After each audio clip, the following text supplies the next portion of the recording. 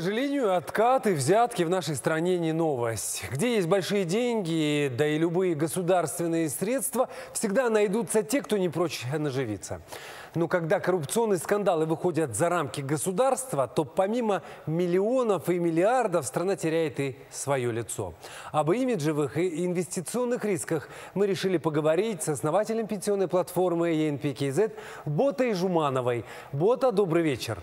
Вот такие международные Добрый коррупционные скандалы с участием Казахстана. Какие риски репутационные несут для нас? И могут ли такие истории отразиться на инвестиционной политике государства в целом?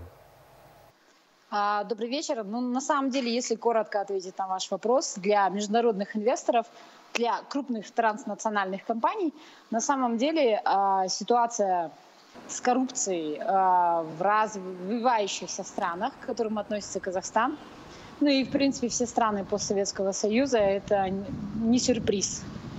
А, В их понимании э, проблемы, которые можно решить с деньгами, это, по сути, не проблема, это всего лишь статья расходов.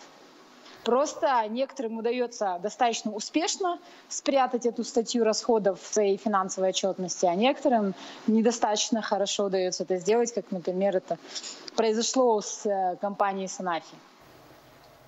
Вот. Поэтому в данном случае я не думаю, что есть какой-то репутационный еще больший удар по Казахстану, а, потому что, поверьте мне, все инвесторы прекрасно осведомлены, а, и никого нет никаких иллюзий относительно Казахстана, что здесь можно делать бизнес без, э, ну, скажем так, да, без вовлечения заинтересованности каких-либо государственных а, должностей в развитие бизнеса. Такой вопрос. Почему даже именитые международные гиганты работают по такой схеме у нас? Это вынужденная мера или легкий, быстрый способ завоевать рынок?